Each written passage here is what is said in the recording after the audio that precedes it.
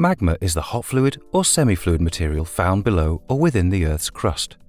Lava is formed from magma as it reaches the surface and igneous rock will then form through cooling.